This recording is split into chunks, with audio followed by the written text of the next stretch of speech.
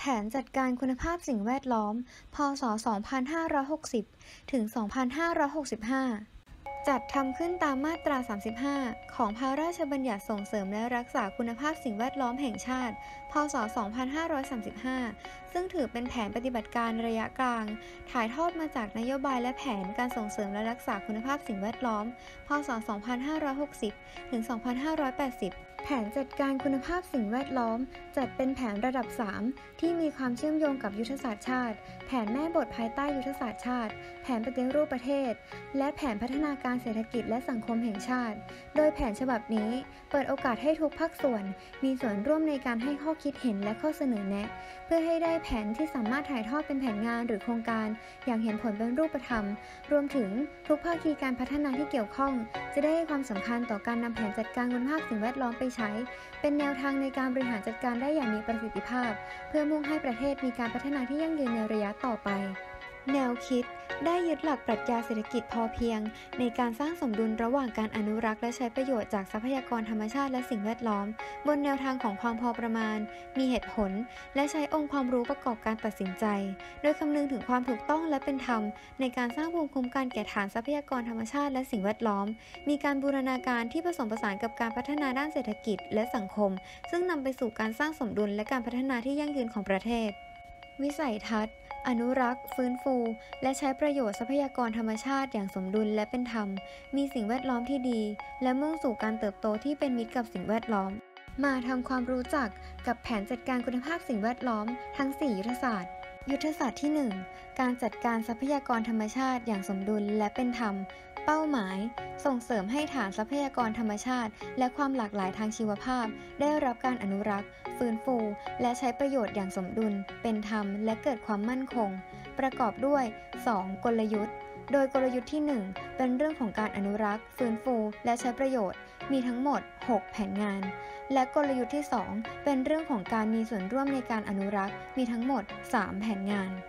ยุทธศาสตร์ที่ 1 มีทั้งหมด 11 ตัวชี้วัดด้วยกัน โดยแบ่งออกเป็นเรื่องดินและที่ดินในตัวชี้วัดที่ 1 2 และ 5 เรื่องป่าไม้ในตัวชี้วัดที่ 3 เรื่องทรัพยากรน้ำในตัวชี้วัดที่ 4 เรื่องทะเลและชายฝั่ง ในตัวชี้วัดที่ 6 7 และ 8 เรื่องทรัพยากรแร่ในตัวชี้วัดที่ 9 เรื่องความหลากหลายในตัวชี้วัดที่ 10 และเรื่องร้องเรียนในตัวชี้วัดที่ 11 ยุทธศาสตร์ที่ 2 การจัดการสิ่งแวดล้อมที่ดี ได้รับการป้องกันบำบัดและฟื้นฟู เป้าหมาย สิ่งแวดล้อมได้รับการจัดการที่ดีอย่างมีคุณภาพ ทั้งการป้องกันบำบัดฟื้นฟู และการถ่ายทอดสิ่งแวดล้อมที่ดีสู่รุ่นต่อไป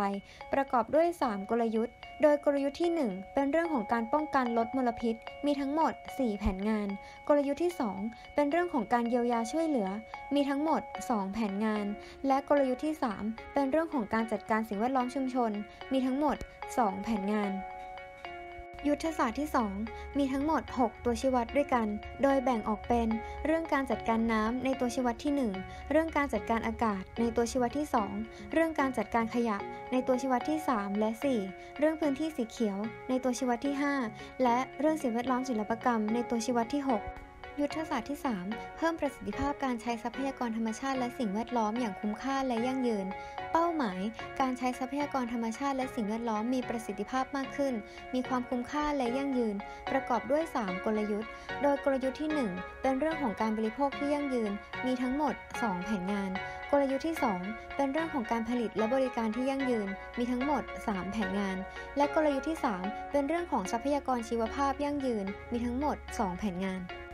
ยุทธศาสตร์ที่ 3 มีทั้งหมด 8 ตัวชี้วัดด้วยกัน โดยแบ่งออกเป็น เรื่องการบริโภคที่ยั่งยืน ในตัวชี้วัดที่ 1 2 และ 3 เรื่องการผลิตและบริการที่ยั่งยืน ในตัวชี้วัดที่ 4 5 6 และ 7 และเรื่องทรัพยากรชีวภาพยั่งยืน ในตัวชี้วัดที่ 8ยุทธศาสตร์ที่ 4 สร้างศักยภาพเพื่อรองรับการเปลี่ยนแปลงสภาพภูมิอากาศและภัยธรรมชาติ และส่งเสริมความร่วมมือกับต่างประเทศ เป้าหมาย ทุกภาคส่วนมีศักยภาพในการรับมือต่อการเปลี่ยนแปลงสภาพภูมิอากาศและภัยธรรมชาติ และมีความพร้อมในความร่วมมือด้านสิ่งแวดล้อมกับต่างประเทศ ทั้งในระดับภูมิภาคและโลกที่เป็นเชิงรุก ประกอบด้วย 3 กลยุทธ์ โดยกลยุทธ์ที่ 1 เป็นเรื่องของการสร้างความรู้ความเข้าใจต่อการเรือนกระจก มีทั้งหมด 2 แผนงาน กลยุทธ์ที่ 2 เป็นเรื่องของการปรับตัวต่อการเปลี่ยนแปลงสภาพภูมิอากาศ มีทั้งหมด 2 แผนงาน และกลยุทธ์ที่ 3 เป็นเรื่องของความร่วมมือระหว่างประเทศ มีทั้งหมด2แผนงาน